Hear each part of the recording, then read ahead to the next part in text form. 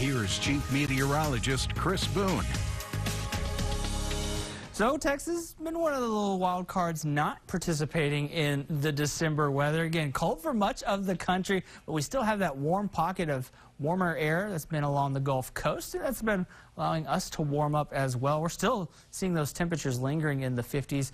Again, much cooler up towards the north. That's where we're going to start to see that cold air start to work its way down towards us in the Concho Valley. And again, it's going to take some time and it's going to modify a little bit. So we're not going to see those freezing temperatures, but we'll see a lot cooler air as we go into the weekend. Again, seeing some of those upper to mid-level clouds moving in from the southwest. In fact, we're now starting to see some fog along the Gulf Coast out towards areas along Houston and even towards San Antonio. Doesn't show up on the infrared satellite because it's about the same temperature as what the ground is. You can definitely see it with the humidity. Humid values out there, again, because of that 100% saturation, much drier the further west you go.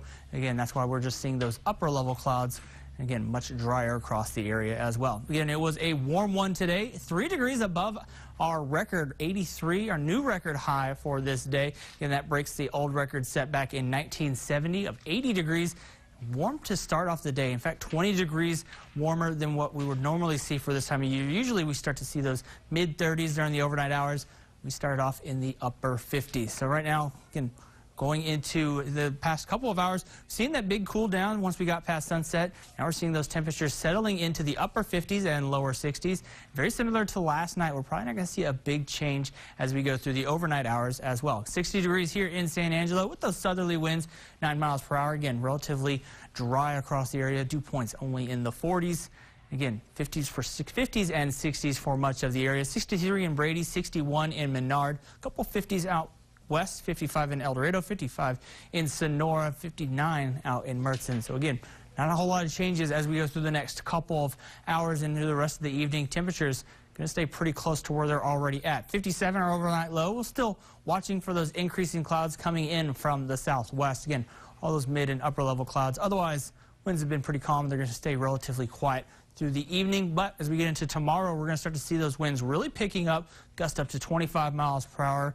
Again, another possible record high for us tomorrow with a high of 84. Again, the record for this date tomorrow is 83 degrees. So even if we don't break it, we could easily be tying that record.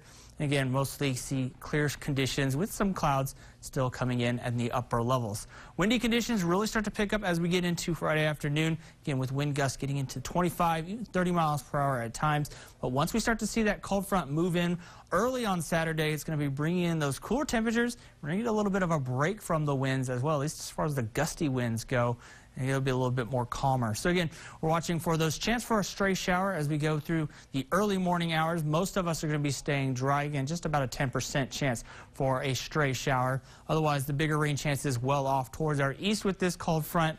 So we're going to stay relatively dry here in the Concho Valley, but we will get the cool down with that cold front, and we're going to see those clear skies moving in behind it as well. First shot of cold air comes through, and it quickly warms up back as we head into the next work week, but we'll be starting to watch off towards the west with another chance for some cooler air working its way here into the Concho Valley. Otherwise, seven-day forecast shapes up like this.